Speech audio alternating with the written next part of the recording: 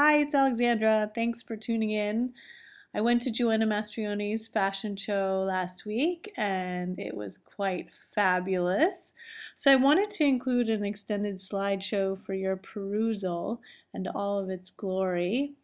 She tributed her show, her fall 2011 show, to Lillian Bassman, and I found it to be incredibly Audrey Hepburn esque and inspired, especially with the accessories, the shoes, the hats, the sunglasses, and all of that. The great thing about Joanna is she's actually one of our local designers here in New York, working out of a garment district space on 37th Street in the Bricken Arcade.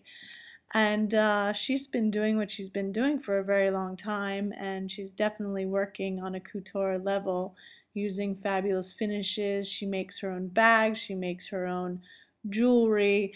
There's really nothing that this woman can't create.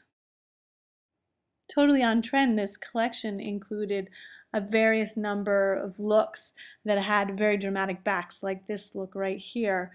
And uh, I almost felt that she was trying to send a message about, you know, a woman leaving the room, something very dramatic. I especially love this fur stole.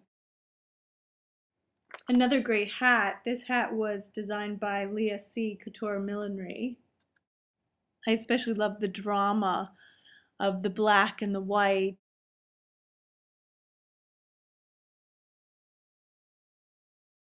This ingenious look is actually a convertible dress where the skirt is removed, which is clever, I think. A fabulous pop of color, and again, a great example of a very dramatic train.